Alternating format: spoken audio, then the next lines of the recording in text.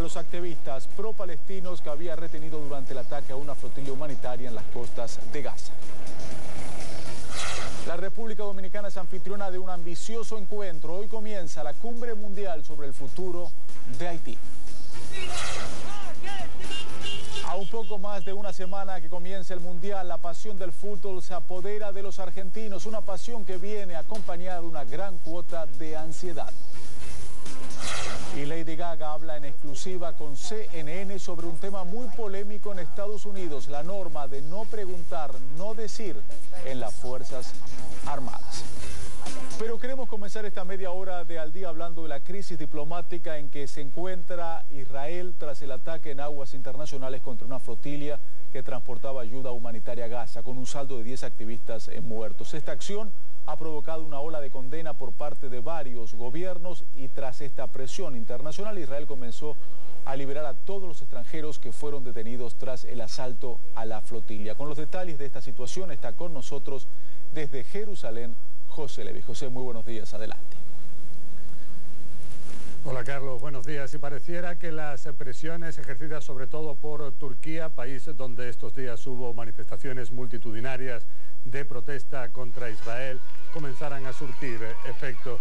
De hecho, después de que el canciller turco dijera que si en el plazo de 24 horas, o sea, durante hoy miércoles, Israel no libera a todos los detenidos durante el asalto contra esta flotilla, Turquía se replantearía sus relaciones diplomáticas con Israel, es que estamos viendo cómo Israel decidió dejar cualquier problemática de lado y liberar a todos los detenidos. Ninguno de ellos está ya en la cárcel de Beersheba, en el sur de Israel. Se encuentran en su camino al aeropuerto. La mayoría de ellos son también de nacionalidad turca. 380 serán devueltos a Turquía, 38 serán devueltos a Grecia. También se sabe de autobuses que salieron con destino a Jordania llevando a 123 personas algunas de ellas ciudadanos de este reino hachemita, pero también ciudadanos de otros 12 países musulmanes que no tienen relaciones diplomáticas con Israel.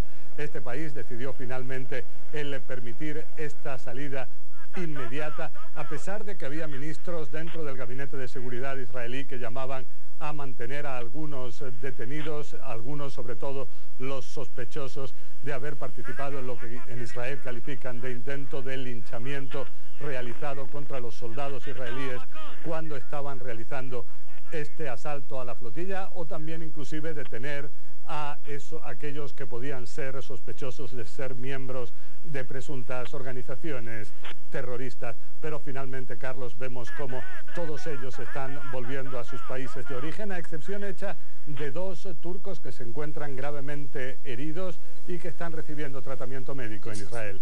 Carlos. José, luego de este incidente, ¿cuál es la situación de otras embarcaciones que están transportando ayuda humanitaria a Gaza? Existe uno de los barcos que originalmente tenía que estar en la flotilla interceptada el pasado lunes, el barco llamado Rachel Corey, que se encuentra ahora al lado de la eh, isla de Creta. Según dicen los que se encuentran en esta nave, en dos, tres días ellos piensan hacer el camino a Gaza.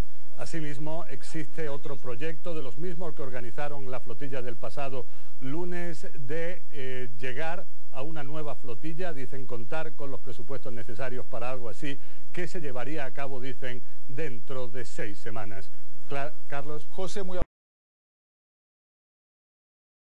de Nicaragua reafirma su apoyo incondicional a la lucha del pueblo palestino para lograr su derecho inalienable a vivir en paz y seguridad en su propio territorio, derecho que le ha sido conculcado por más de 60 años por la potencia ocupante y se suma a la condena internacional que a la vez exige se levante el bloqueo inhumano a la franja de Gaza. El gobierno de Nicaragua suspende a partir de esta fecha, repito, el gobierno de Nicaragua suspende a partir de esta fecha las relaciones diplomáticas con el gobierno de Israel.